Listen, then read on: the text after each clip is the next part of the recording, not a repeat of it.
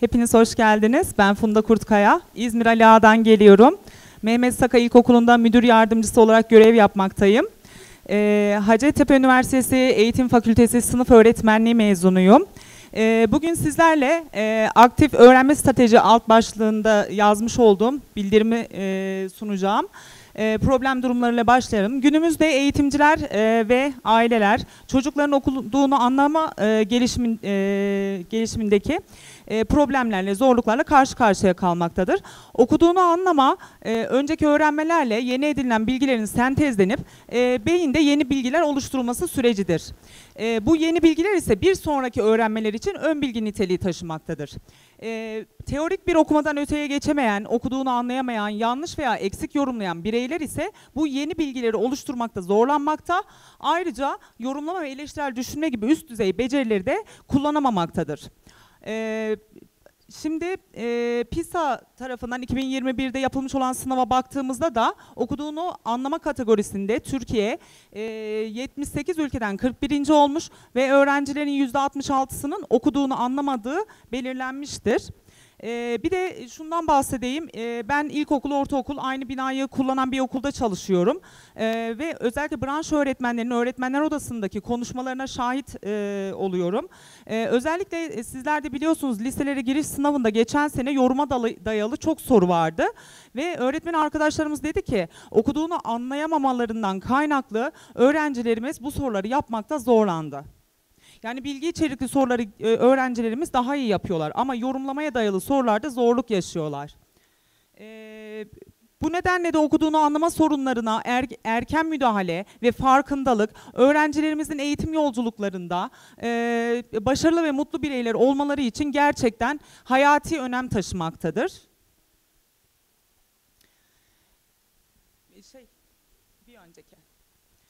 Her çocuğun öğrenme e, tarzı farklıdır. Metinleri işleme konusunda bazı çocuklar daha fazla zorluk yaşayabiliyor e, arkadaşlar. Günümüzde geleneksel yöntem ve tekniklerin aksine artık çağdaş e, öğretim e, teknikleri e, daha çok önem kazandı. Çünkü öğrenciler ne kadar derse aktif katılırlarsa öğrendikleri bilgiler de daha kalıcı ve devamlı hale gelmekte. Bu nedenle de istasyon tekniğini seçme e, sebebim bu. E, istasyon tekniği öğrencilerin öğretmen rehberliğinde e, grupla çalıştığı, kendi öğrenme senaryolarını oluşturduğu, e, farkındalık e, ve yaratıcılık üzerine çalışmalar yaptığı, farklı etkinlikler e, ve e, farklı materyaller kullanarak öğrendiği, öğrendiklerini pekiştirdiği, öğrendiklerini sorguladığı çağdaş bir öğretim tekniğidir. İstasyon tekniği öğrencilerin metinleri metinleri derinlemesine analiz etmesini, eleştirel e, yorumlama gücünün e, artmasını sağlıyor. Ayrıca istasyon tekniği eğlenerek öğrenmeyi sağladığı için de öğrencilerin derse olan ilgi ve motivasyonu da artıyor arkadaşlar. İstasyon merkezlerinde aynı grupta çalışacak olan öğrencilerin e, öğrenme hızları, seviyeleri birbirinden farklı olduğu için akran öğrenmeleri gerçekleşiyor. Öğrenciler birbirlerinden öğreniyorlar ve ayrıca da sosyal etkileşim artıyor. Benim e, çalışmamın genel amacı ilkokul öğrencilerinin okuduğunu anlama becerilerini geliştirmek ve bunu geliştirer, geliştirirken de istasyon tekniğinin etkisini incelemek. Sorulara gelecek olursak araştırma sorularına istasyon tekniği uygulandığında öğrencilerin okuduğunu anlama becerileri üzerinde olumlu bir etki gözlemlenmekte midir? İstasyon tekniğinin öğrencilerin metinleri derinlemesine anlamasına katkısı nedir?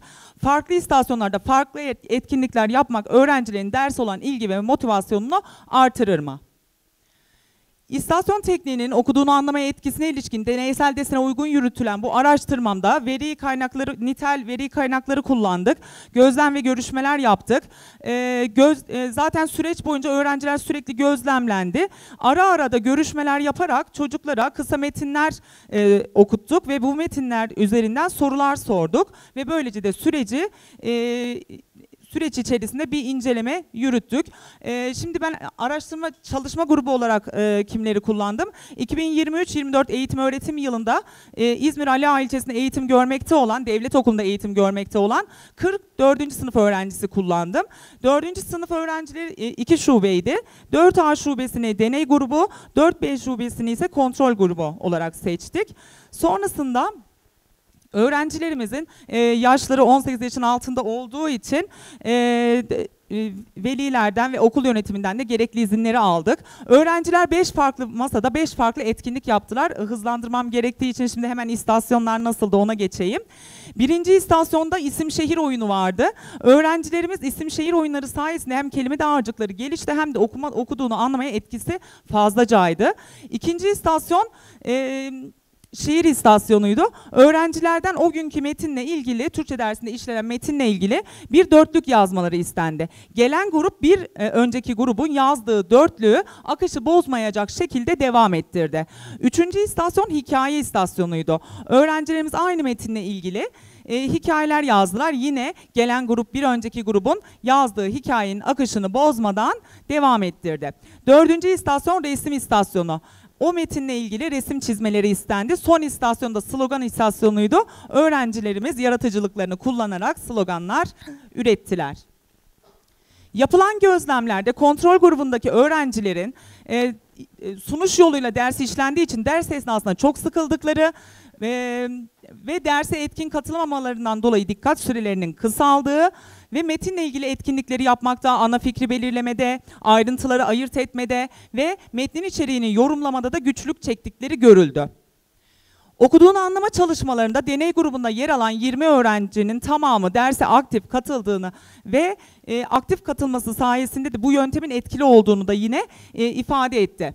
E, kontrol grubundaki 20 öğrencinin 14'ü ise ders esnasında çok sıkıldıklarını, bir süre sonra öğretmeni dinlemek istemediklerini, 3'ü biraz da olsa etkili bulduğunu, 3'ü ise kararsız olduğunu dile getirdi. Ve 4 haftanın sonunda ben e, öğrencilere metin analizi çalışma kağıdını uyguladım. Bu e, kağıtta e, deney grubundaki öğrencilerin %86'sı doğru cevap verirken kontrol grubundaki öğrencilerin sadece %32'si bu sorulara doğru cevap verdi.